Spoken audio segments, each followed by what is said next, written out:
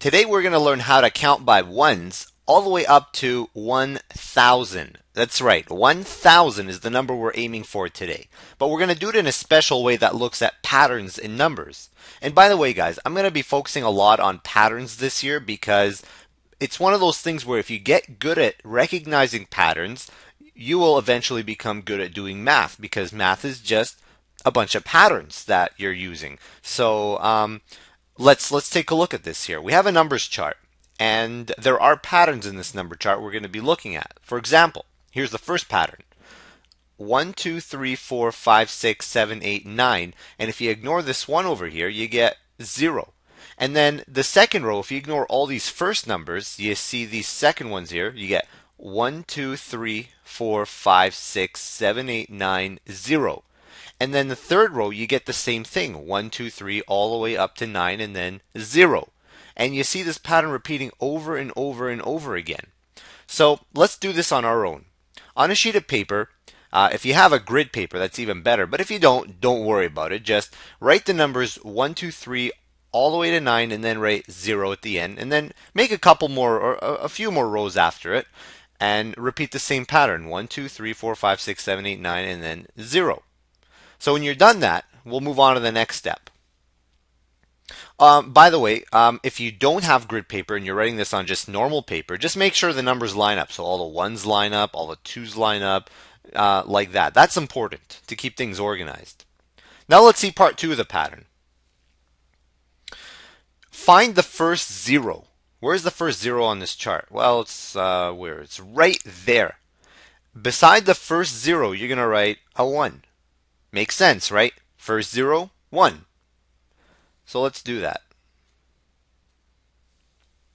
So I'm going to change colors here. So let's put let's put a 1 here by the first zero. And then let's see what's what else is happening. So after you write 1 by the first zero, look at the numbers that follow. They all have ones in front. So 1, 1, 1, 1, all the way up to here. And then once you get to the second zero, you write a 2. Makes sense, right? Second zero, 2. So let's do that. Let's write ones all the way up until we get to the 0, and then we'll put a 2 beside it. So we'll fill this all with 1, 1, 1, 1, 1, 1, 1, all the way up to here, and then the number changes at the 0. So instead of a 1, you write a 2 you know what? I'm going to let's make this uh, a different color, the next set of numbers. So the twos are going to be blue. Now you can probably figure out the pattern after here, but let's take a look at it anyways. After you write a 2, look at the numbers that follow. They're all 2, 2, 2, 2, all the way up till you get to the this area, and then once you get to the 0, it changes from a 2 to a 3. So doing that on our chart, we're going to write 2's after here. 2, two, two, and just go along the way. Now, here's the important part. Once you get to the zero, the number changes from a two to a three. And again, we'll change colors here. And you know what? If you have colored pencil, pencil crayons, do this in pencil crayons. They keep things a little more organized and change the color every time you get to a zero. And now we don't have to look at the chart anymore. We can just fill this all in. Three, three, three, three. And then what do you think happens here? That's right, you put you put a four. And here, let's do let's do purple. Like that. And once you do this, you can keep this pattern alive and continue all the way to the bottom and even more if you had another chart. So we get the numbers to 10 and then we say 11, 12, 13, and this is 20. And here are all the 20s 21, 22, 23, and then you get to the 30s and so on. And that's how numbers are built. So if you understand this pattern, the fact that you have the 1 to the 0 in every row, when you get to the first 0, you write a 1, and then write 1s after it, until you get to the second zero, then you write a 2 and so on. If you understand this pattern, let's do it in a little more advanced method. So I'm going to erase this. And instead of starting at the number one, let's do some practice problems that are a little more little bit more challenging. So let's put uh, let's put a 9. So we get the number 91. So what does the pattern tell us? It tells us that if that's a 9, we're going to fill all these up with 9s. Like that. And once you get to the 0 here, you don't write another 9. What do you do? You change it from a 9 to a 10.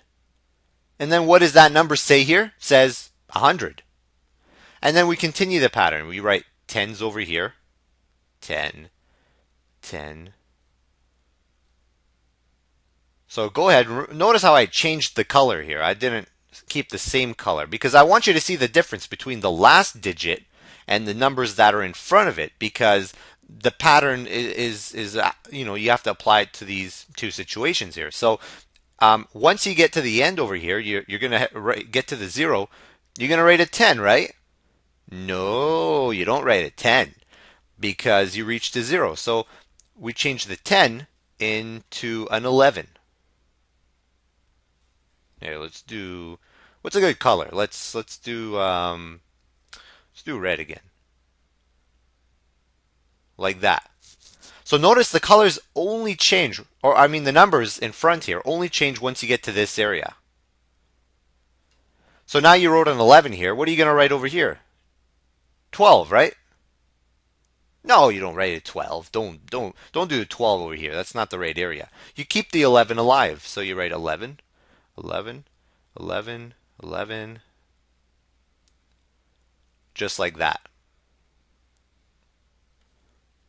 You see what happened? I made a mistake somewhere. See if you can figure it out. It's right here. I shouldn't write an 11 here because that's where the numbers change. So I should write it into, I should make it into a 12. Like that. So I hope you're, you're um, getting a sense of this pattern here. It's not a complicated pattern, and you know, you can build all the numbers up to a million if you wanted to with this. Just keep increasing these numbers and let the numbers grow. Okay, here's one for you to try. Um, let's do Hey, you know, let's do this. Let's put let's put a 19.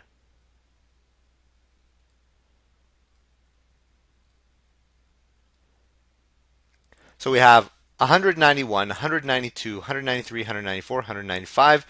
What are we going to do with this 19? We're going to continue it. So we'll write 19 on all of these until you get to that 0 again. Then the 19 changes. What does it change into though? changes into a 20. Now, what does that number say? It says 200. And then continue the pattern. You're going to write 20, 20, 20, all the way up to the end. 20.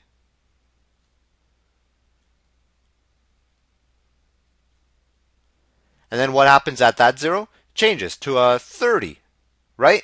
No, it doesn't change to a 30. It changes from a 20 to a 21 like that.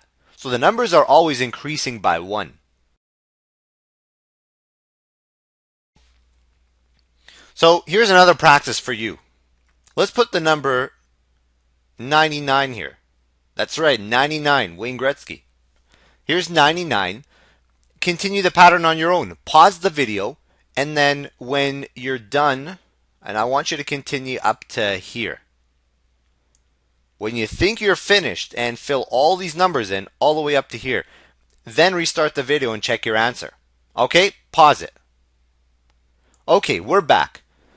You should have done this. You should have wrote 99 on all of these. 99. And then when you got to here, you should have wrote 100. So that makes the 1000. This is the number that we were aiming for. 1000. But you know what? it's not good enough for us. We're going to keep going past thousand and and and kind of uh, going into forbidden territory.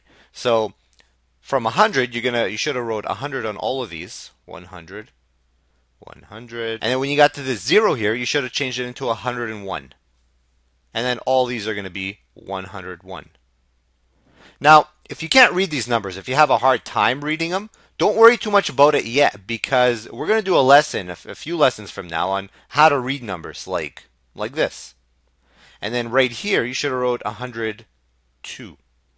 Now I'll give you a little preview first. I mean, this says 1000. This says 1001, 1002, all the way to 1010, and then 1011, 12, 1013, all the way to 1020. Okay, here's the next question. Here you're going to practice counting backwards. So I'm going to write somewhere in the middle and you're going to go backwards to the beginning. And let's do it over here. Let's put let's put um, let's put 30. So this number says 307, and I want you to write backwards all the way till you get to this point here. Okay? So what's going to happen here is you're going to keep the 30